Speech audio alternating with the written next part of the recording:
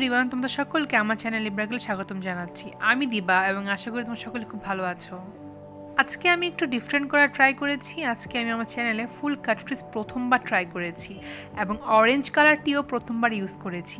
আশা করি তোমাদের সকলের এই লুকটি ভালো লাগবে।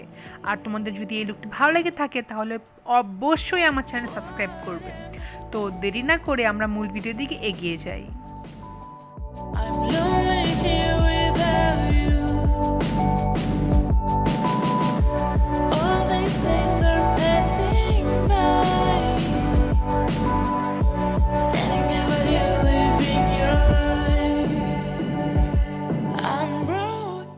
আজকে আমি আমার প্রাইমার হিসেবে ইংল্যান্ড আন্ডার মেকআপ বেসটি অ্যাপ্লাই করব। আমার এই প্রাইমারটি খুব পছন্দের। এটি খুব সুন্দর একটা স্মুথ ফিনিশ দেয়। আমি আমার হাত দিয়ে পুরো ফেসে সুন্দরভাবে চেপে চেপিয়ে এই প্রাইমারটি অ্যাপ্লাই করে নিব.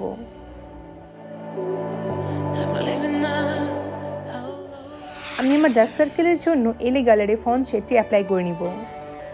আমি শুধু আই এরিয়াতে ইউজ করছি।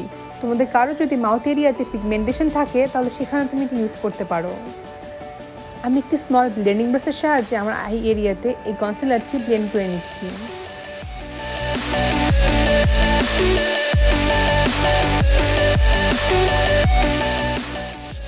আমি আমার ফাউন্ডেশন হিসেবে আজকে ইংলটের অল কভার ফাউন্ডেশনটি ইউজ করব।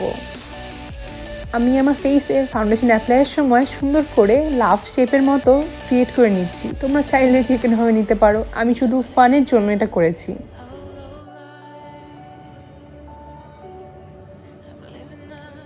এখন আমি এই বিউটি ব্লেন্ডারটির সাহায্যে আমার পুরো মুখে ফাউন্ডেশন ব্লেন্ড করে নিব।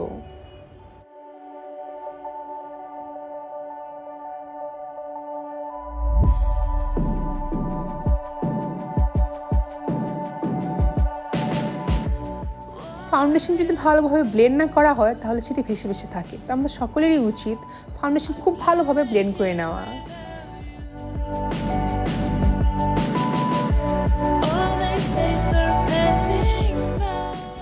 আজকে আমি আমার কনসিলারের জন্য এই টাটের শেপ টেপটি ইউজ করব। এটি আমার মোস্ট ফেভারেট কনসিলার আমার মনে হয় যাদের বাজেট একটু হাই আছে, তাদের সকলেরই এই কনসিলারটি ইউজ করে দেখা উচিত।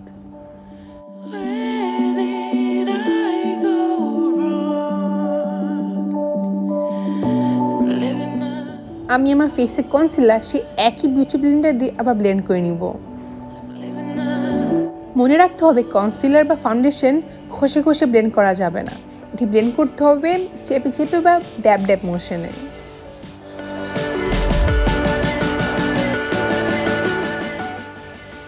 আই এরিয়াটা খুব ভালোভাবে ব্লেন্ড করতে হবে, কারণ ওখানে বেশিরভাগ কনসিলার ক্রিজ হওয়ার সম্ভাবনা থাকে।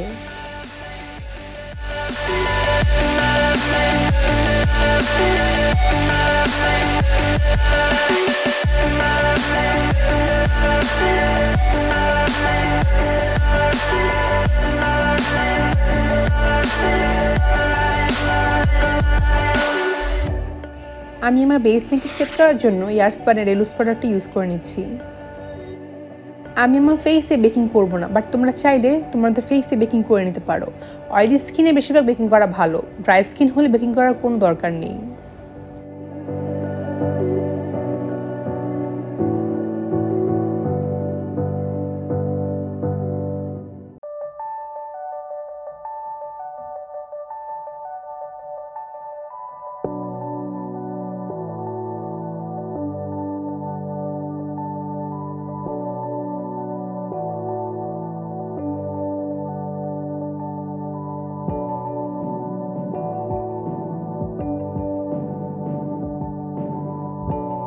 আমি আমার আন্ডার আই এরিয়াতে এই পাউডারটি সেট করে নিচ্ছি। যেন কোনো ফল আউট হলে সেটা আমি ছেড়ে ফেলে দিতে পারি।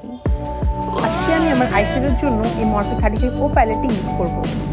আমি এই লাইট কালারটি আমার ক্রিজে ট্রান্সলেশন শেড হিসেবে ইউজ করব।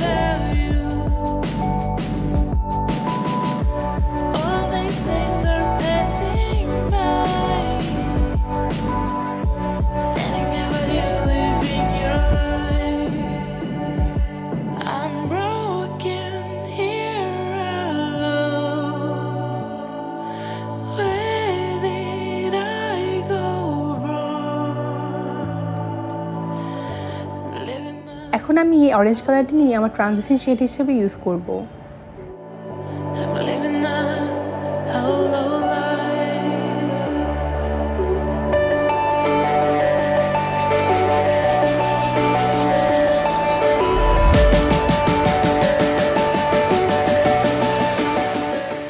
এই রাস্টি অরেঞ্জ কালারটি আমি আমার ক্রিজে উইংয়ের মধ্যে অ্যাপ্লাই করার ট্রাই করব।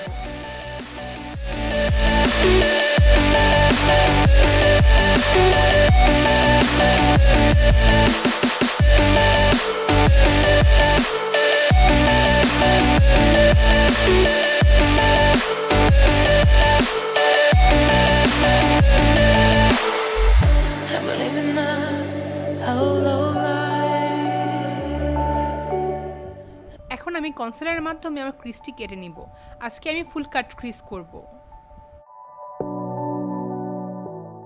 আমি আমার দুই চোখেই ফুল কাট ক্রিজটি করে নিয়েছি। এখন আমি পাউডারের সাহায্যে আমার ফুল কাট ক্রিজটি সেট করে নিচ্ছি।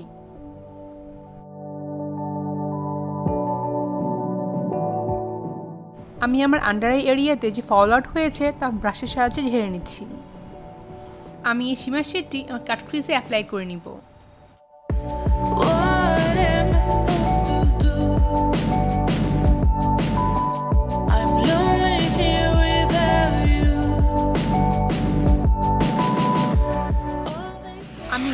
কাজলটি এখন আমার ওয়াটার লাইনে অ্যাপ্লাই করে নিব.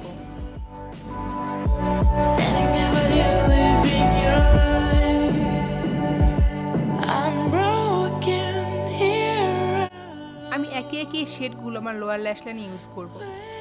একই শেডই আমি আমার চোখের উপরে ইউজ করেছিলাম সেই একই শেডই আমি আমার লোয়ার ল্যাশ লাইনে ইউজ করছি।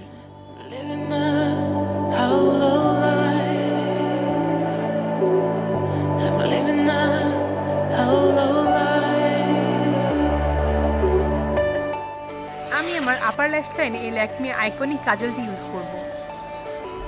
আইরিশ পরে ফেলার পরে মেবিলিনের এই মাস্কারাটি ইউজ করব।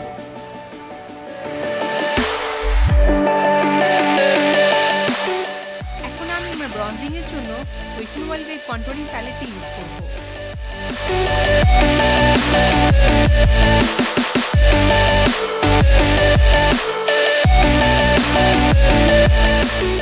আমি আমার ব্লাশ হিসেবে Revolution sugar and spice blush প্যালেটটি use করব.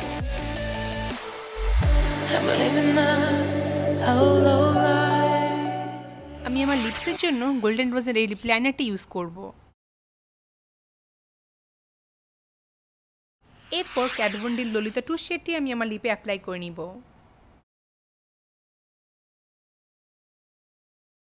এখন আমি আমার ফেস হাইলাইটিংয়ের জন্য রেভলিউশনের এই সফিক্স প্যালেটটি ইউজ করে নিব।